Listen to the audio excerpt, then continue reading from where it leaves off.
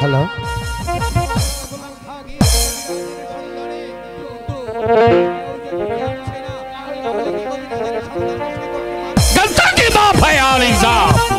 আমি কবিরাজকে সাথে করে মহলে নিয়ে এসছি। আসসালাম আলাইকুম আলাম তা হঠাৎ কি মনে করে আমাকে দেখেছেন বলুন।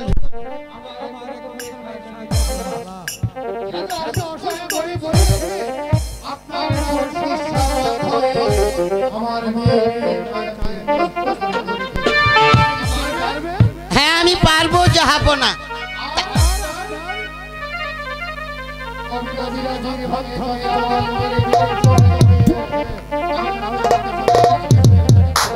ঠিক আছে আলাম্পনা আগে আপনি মালাকে এখানে পাঠিয়ে দেন।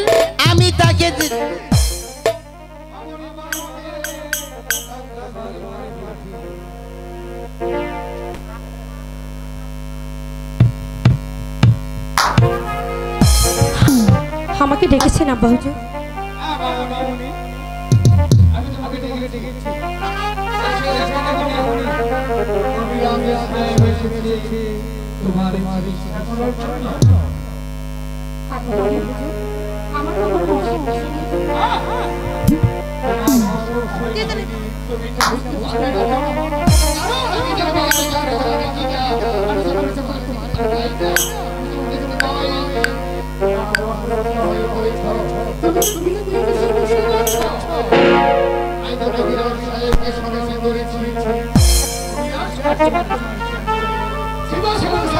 अंधे की आलत पर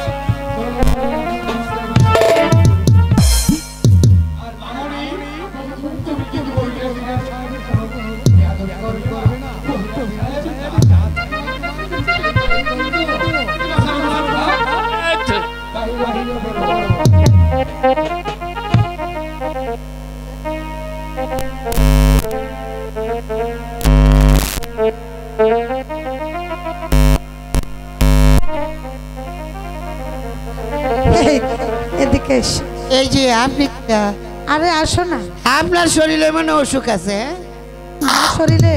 হ্যাঁ। আগে ওখানে ঝাড়াটা দাও পরে কিন্তু আমাকে ঝাড়াটা দেবে। ঠিক আছে ঠিক আছে। আগে আসল রুগীটা সাইজ করে আচ্ছা ঠিক আছে ঝাড়ো ওরে বাবা রে বাবা রে। সারা শরীর দেখতেছি একেবারে অসুখে এই গুতা গুতি গুতু গুতি গুতু গুতি করতেছে।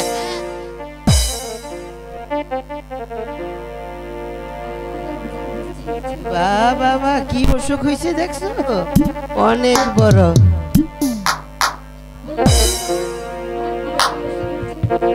বুক দর ফর মাঝে মাঝে জ্বর, পেটটা বুটে বাটে করে। কবিরাজি মতে কাটি বাংলাতে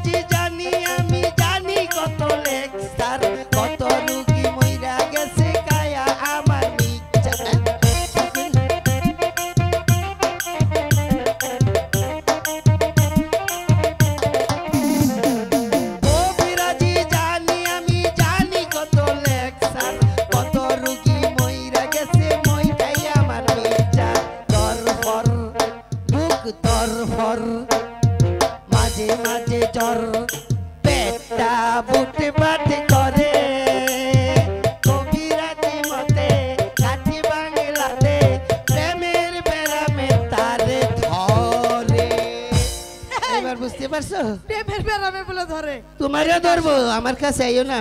তাই নাকি? আগে রাখো। ঝাড়া দিয়ে ঠিক করে দিবা। ঠিক আছে ওইটার এবার সাইজ করে লই। আরে দাঁড়াও না কেন? হ্যাঁ? সাইজ তো করবেই দাঁড়াও না কেন? কি? আরে দাঁড়াও না এদিকে আসো আগে। দিকে গেলে আমার ভয় লাগে। আরে তুমি- তুমি কলে বুক ধর পর। বাবা বাবা আসল কথা কইতেছে ভাই।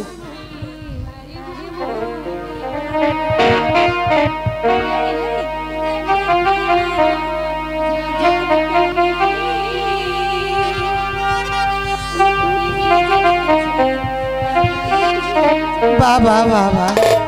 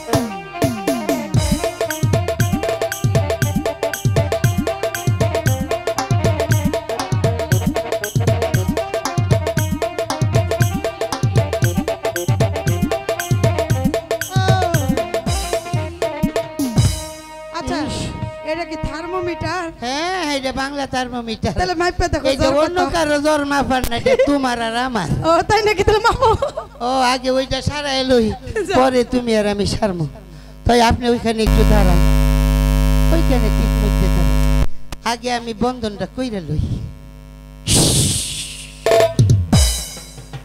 এই কি হইল এত বড় বন্ধ তুমি ভিতরে আইসো ফুতো তোমার শৈল লাগবো তুমি। একটু হরগে দাঁড়াও দূরকে দাঁড়াও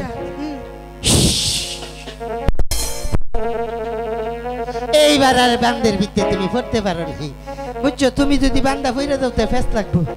এইবার আমি যারা ফুসু করে করি এ কুচ্চার মার খিচুড়ি তার হাতে শিবঙ্গরি কুচ্চার পিঠে দিয়া পাও কানে কানে কইয়া যাও। যদি না কো হাসা কথা তবে কাও তোমার চোদ্দ গোষ্ঠীর রে মাতা। ওয়াক! তো শৈল লাগছে বাতাসের মতো হুর হুর হুর হুর কইরা তুমি আমার বুকে পড়বে। আমার পিছনে দাঁড়াও। হ্যাঁ আমার পিছনে। আচ্ছা। তো ওই দিকটা তো লাগছে ওই দিকটা খালি আছে। কুচ্চার মার খিচুড়ি তার হাতে শিবঙ্গরি। কুচ্চার ভিটে পাও কানে কানে কইয়া যাও। যদি না কও হাসা কথা তবে কাউ তোমার চোদ্দ গোষ্ঠীর মাথা ওয়া। এইটা আবার ফুতুমা শুনল লাগছে। আরে আমারই তো নাকবো। তুমি তো একবারে উইরে যাইবা গা এবার সামনের দিকটা সারাই আচ্ছা নাও। কুচ্চার মার কিচুরি তার হাতে শিবঙ্গরি। কুচ্চার ভিটে দিয়া পাও কানে কানে কইও। যদি না কো হাসা কথা তবে কাউ চোদ্দ গোষ্ঠীর মাথা ওয়াথু ওয়াথু শেষেরটা তোমার শৈল্য লাগে আগে দুইটাই না রাখছে। দেখছ কত অসুখ? হুরুর ওই কি হলো? যাবার কি? সব অসুখ শেষ। শেষ। যাব না আসুন।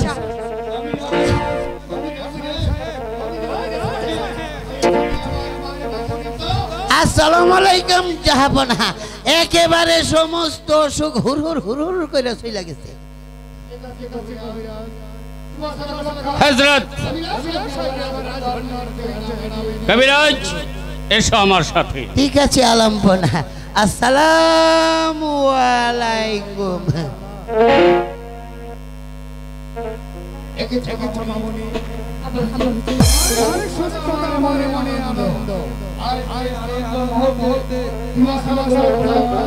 হজরত আস্তে আস্তে আস্তে কথা কথা বল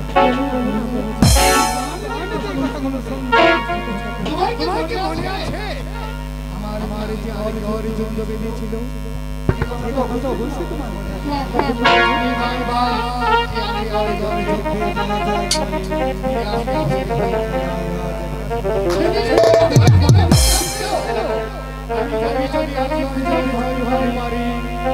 তাহলে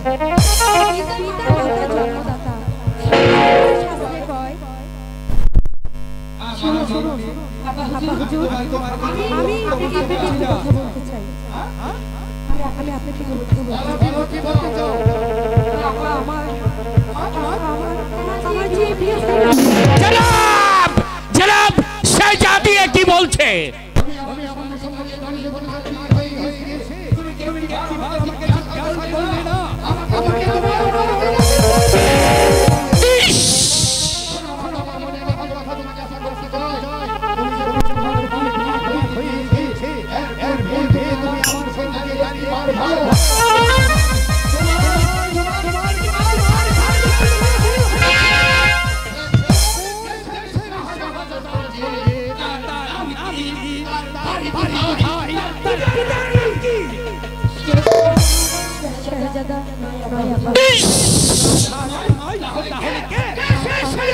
আমার স্বামীর নাম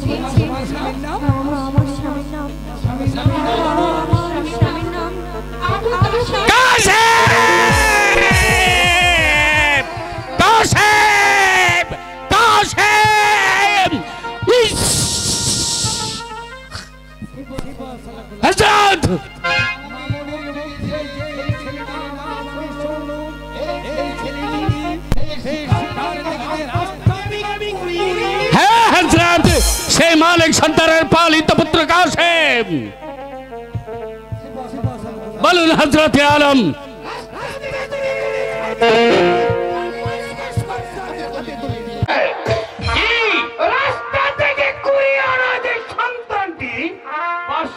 তোমাকে দান করেছিল যেন আমার তার বাড়ি থেকে এই মুহূর্তে দেয়। এটা হচ্ছে মিশরের নবাবের ব্যবসা হ্যাঁ, আপনি কোনো চিন্তা করবেন না হযরত। এ আপনি কোনো চিন্তা করবেন না। ওই কমজাতের বাচ্চাকে এই মুহূর্তে আমি বুঝিয়ে দেবো। খেল খেলে গোলাপ খা। ওই মাল আপ চলছে কত ভয়াল ভয়ঙ্কর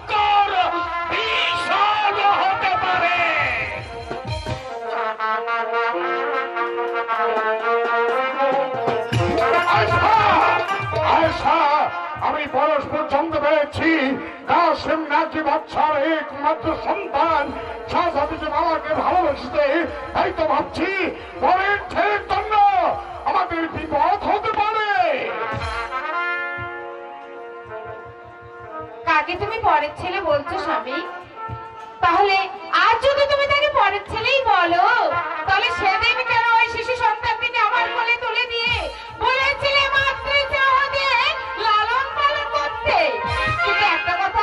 আপনার কাছে জানতে পারি? বলো। শুধু কি আমার কাশ্মীর দোষ? মালার কি কোনো দোষ নেই? নিশ্চয় দোষ আছে। তবে যদি মালার দোষ হয়ে থাকে তাহলে কেন কেন আমার কাশেমকে বাড়ি ছেড়ে বেরিয়ে যেতে হবে স্বামী? আয়সা আজ পরে ছেলে বলে তোমার মনে আমি ভদ্র আঘাত দিয়ে ফেলেছি। আমি আর কখনো বলব না। কাশিম পরের ছেলে কাশিমকে যে আমরা ছোট থেকে খুলে দিতে বলে মানুষ করেছি কাশিম পরের ছেলে নয় কাশিম যে আমাদের। মালিক সর্দার বাড়িতে আছো? মালিক সর্দার। কে কণ্ঠস্বর? একই হঠাৎ কি মনে করে শিবাসরা গোলাম খা? গরিবের দুয়ারে। আমি এসেছি বাদশার আদেশ তোমাকে জানিয়ে দিতে। বাদশাহ এমনকি আদেশ করেছে যার জন্য আপনি আমার বাড়িতে এসে ভাবতে হয়েছেন একটি বার আপনি খুলে বলো বাদশার আদেশ বাপ থেকে তুলিয়ে যে ছেলেটিকে তোমার দান করেছিল সেই ছেলেটিকে আমার মুখ থেকে শোনা মাত্র তোমার বাড়ি থেকে তাড়িয়ে দিতে হবে। তার প্রতি আমি একটি বার জানতে পারি আমার কাসেম এমনকি অপরাধ করেছে তার জন্য বাচ্চা করেছে। আমার কাসেমকে বাড়ি থেকে তাড়িয়ে দিতে। তাহলে সন্তান তোমার সন্তান সমন্য হয়ে ব্যবসা জাতির সাথে অবাধে ভালোবাসা করছে শোনা শোনা গুলাম খায় আমার কাসেম যদি সাথে মালাকে ভালোবেসে অপরাধ করে থাকে তাহলে বাচ্চার কন্যা সাথে মালা কি কাসেমকে ভালোবাসেনি অনেক সন্তান হ্যাঁ। আমি জানতে চাই, তুমি ব্যবসার আদেশ পালন করবে কিনা? তার প্রতি আপনি কান খুলে শুনে রাখুন শিবাসরা গোলাম খায় আজ শুধু আপনি আমার বাড়িতে এসেছেন বলে নইলে যে মন্ত্রী আপনি উচ্চারণ করেছিলেন, আমার কাছেমকে বাড়িতে তারা ভয় পালিয়ে দেওয়ার জন্য ঠিক সে মুহূর্তে আপনাকে মাথা মুড়ে ঘুম ঢেলে দিকে দাঁড়িয়ে আপনাকে আমি বাড়ি থেকে ধাক্কা দিয়ে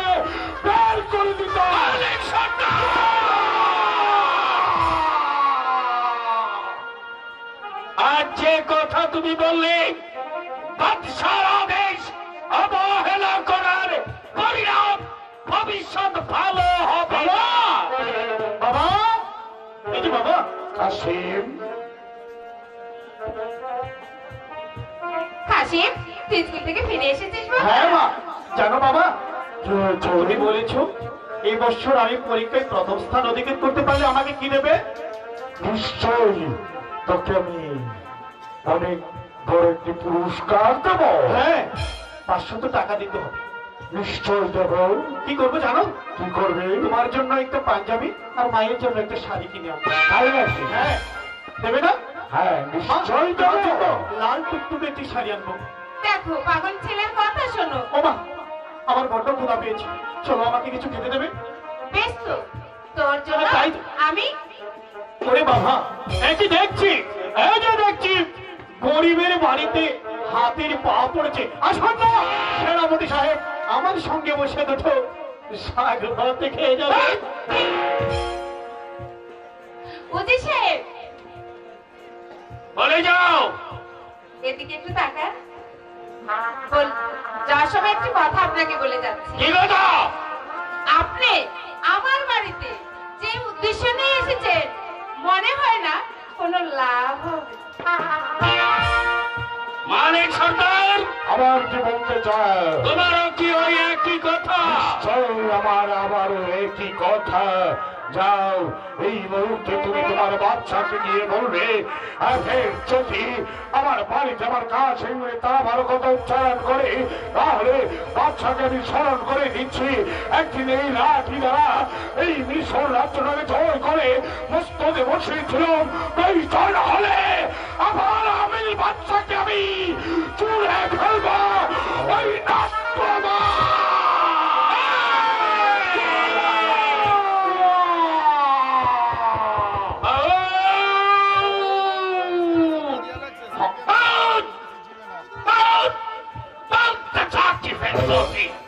বাচ্চার হুকুম নেই। তাই তোমাকে কিছু বলে যেতে পারলাম না।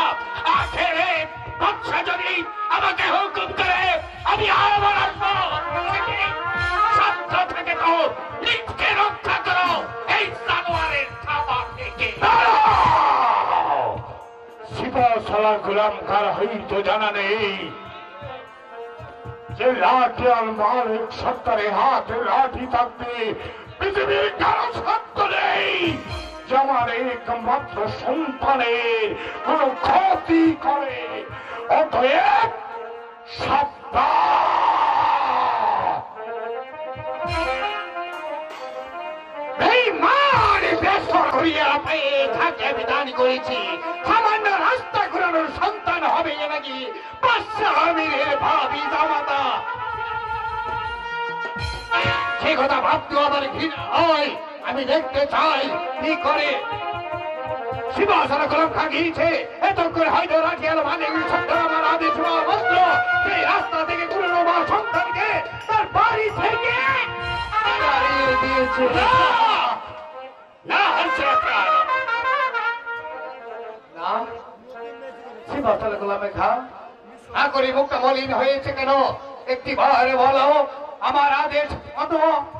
শিবাতলে গোলামে খা মালিক সর্দার কি বাদের বাচ্চাকে বাড়ি থেকে দাঁড়িয়ে দিয়েছে সে কথা বলতে যে আমার সাহস হচ্ছে না জনাব। আমি অবৈধন করলাম বলো! তাহলে শুনুন মালিক সর্দার বলেছে প্রয়োজন বুভেদ সে যে লাঠি দ্বারা আপনাকে সিংহাসনে বসিয়েছিল সেই সিংহাসন থেকে আপনাকে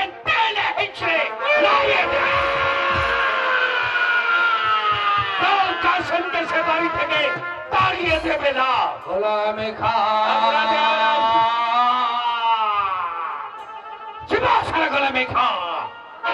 মালিকের সর্দারে যখন আমার আদেশ অমান্য করি তোমাকে বাড়ি থেকে অপমান করে তাড়িয়ে দিয়েছিল।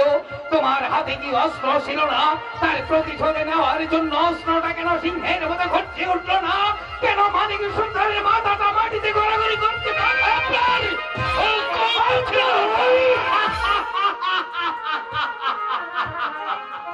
জীবনশালে গোলামে অপমানে খানি মাথায় নিয়ে সামান্য মালিক সর্দারের বাড়ি থেকে চলে এসেছ। আমার হুকুমের অপেক্ষায় এমন হিরো নিরত্যাগত আমি কোনোদিন আলম এখন আমি কি করতে পারি? আর কোনো কথা নয়।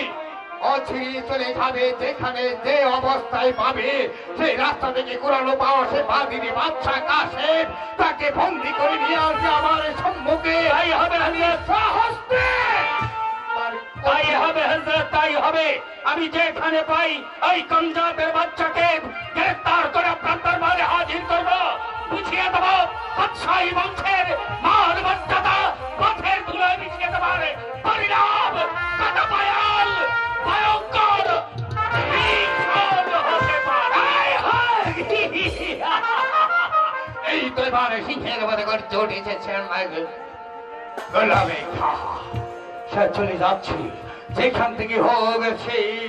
বাদির বাচ্চাকে ধরে নিয়ে আসবে আমার সম্মুখে। আর বাচ্চা মিলে ভাবি জামাতা হর আমার নিজ হস্তে তাকে মিঠিয়ে দেব। আমি দেখতে চাই সে বেইমান সে সে কথা বড় সাহস। সে হবে নাকি বাদশা জাতির জামাতা?